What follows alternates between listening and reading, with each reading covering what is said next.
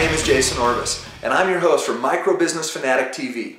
The Small Business Administration says that about 50% of businesses will survive their first four years. Now, I hate the SBA, but those numbers sound about right to me in my experience.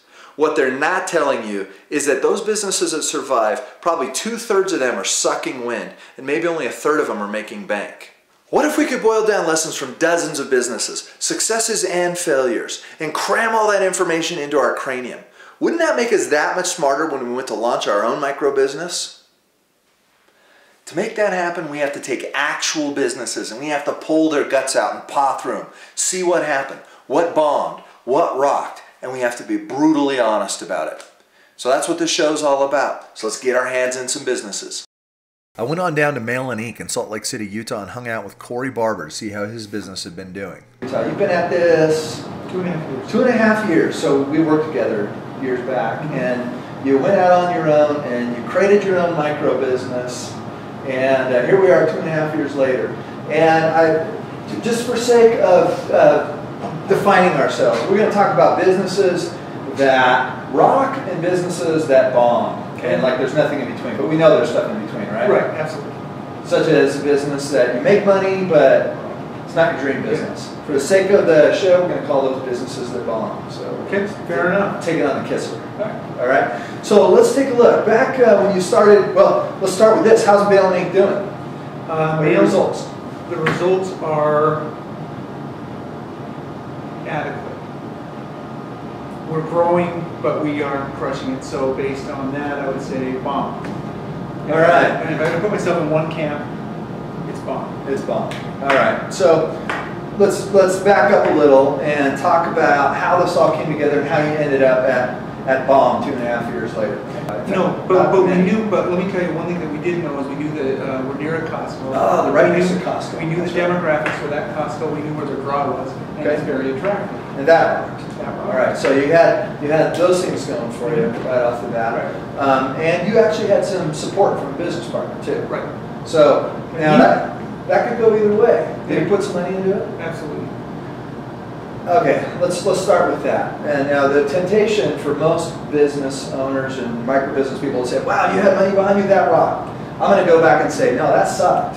That that's what that was a big reason you bombed um, because you had money. You had more money than you had good sense." Yeah, I would agree with that, absolutely. I mean, could you afford to park, afford to gotten into all of this without some of that money backing you up? No, And if you hadn't have gotten into all of this, you might have been able to approach this differently in a way that, that would have worked better. yeah, yeah. So, so over here we got, what we got bombed is you had a business partner with some cash Yeah, um, in his pocket. You want to put a little bit of cash behind you. yeah. So, okay, there's that. So how did you plan on marketing when you conceived of this thing? How are you going to get the word out, get people to come through those doors right there?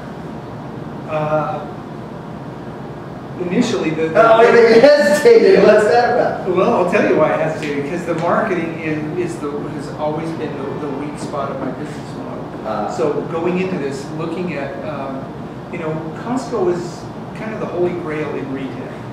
And, Yeah. and the mistake that I and my business partner together made was we took and budgeted, uh, we paid extra for the space using our advertising budget, knowing that we had, I mean, count the traffic. Yeah, oh no, it's crazy. We're next to Costco. And- and cars so- going by. yeah. Boom, boom, boom. So- you know, so the idea there's, was- soccer moms galore. Well, well, and, that's and, the- the demographic of the Costco shopper is very attractive. Uh, you know, this is, uh, serves some high-income areas in Salt Lake, business owners, um, professionals, people with, you know, upper middle class people are shopping, and we knew that. And so we said, okay, here's our marketing budget. It's this space. Did And you we're test that? Take advantage, we didn't test it. I mean, is there was there any way you could have tested that? Tested that? Could you call? Could you have called print shops that are next to Costco's all over the United States and say, uh, how big a deal is it to be next to Costco? absolutely. Well, and better yet, could you have sold to those same people without having a store right here Absolutely. to some degree? Just find them. Yeah, just go out and find them, or, or put leaflets on the car and say, I'll print for you. And, Absolutely. and, Yeah. and there are a hundred Yeah. ways you could have done it if you didn't have your partner's money that you would have done anyway if you were really passionate about getting No, that's a very good point. Yeah. So, you know, in, in all of my ranting and raving and whatnot, I say marketing is a tail that wags the dog. If marketing had led this thing, Mhm. instead of let's set up a shop being the, the, the, the, the starting point, Yeah. What could you be right now? Who knows? Who knows? Hey, customer, customer coming in. Hold on a moment. Yeah. How are you? Good. Hello. What can we do for you? Is there any way I can print a document off this? Good. Uh, black and white? Uh, it's A customer. Woo! High five. Six bucks. yes. Okay, That'll that'll be be right. that. Six bucks at a time. It, it adds up. Now, what you said, your Kinko's with a soul. That's what he told the, uh, told the Yeah. customer who came in and uh, some copies. That's awesome. But if Kinko's attorneys ever come after me, I'll deny them. I, I, we didn't get it. Well, we did get it video, but we'll edit it out. Yeah, Kinko's sure. a soul part because uh, Yeah, that's gonna happen. we'll edit that. That's all right. It's cool, I can. Kinko's with a soul. You know, um, there might be a market for that out there. But did, did we ever figure out how to get that message to? No, we never have, that's, again, you asked me what else. I, s- yeah, I think that's the key right there. I think, what, uh, I think we've created a product and services, products and services that.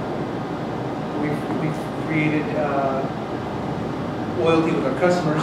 We don't have enough customers to, to, uh, really crush it. And, and so, I mean, that's really, we, we've learned a lot. This has been school, school of hard knocks. I've got a master's degree in a lot of things not to do. Yeah, you know, I mean, let's look at this. There's an MBA. You could have you could have taken the last three years and gotten an. MBA. Now you would have had to pay them to get the MBA. Instead, you've sat behind this counter and made money. You know, it isn't the money you drink. No, not the so, money I drink. But you know, you, you've got your you've got your MBA that's probably five times more valuable than an actual MBA in terms of whatever you're going to do next. Right. And uh, you know, that's how you spend your last two and a half, three years. Yeah.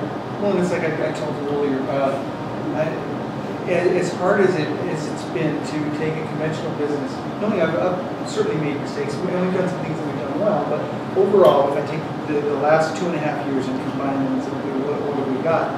What I really have is knowledge, and I would do things. So um, I, I can choose to, to whine and say, oh gosh, poor me, or I can say, oh, this is cool. I've learned a buttload of stuff. And it's real world knowledge. They're the kind of lessons that you, that aren't, they're not just, uh, hey, I've sort of read this in a book and sort of learned it. These are You know, to the core lessons. Yeah. Would you do this again? No. Would you do this again? Yes. They're, they're, they're almost black and white. And and uh, bottom line, it's not over yet. No, I'm You still know, learning. You're and you're still No, out. no, You're still at it.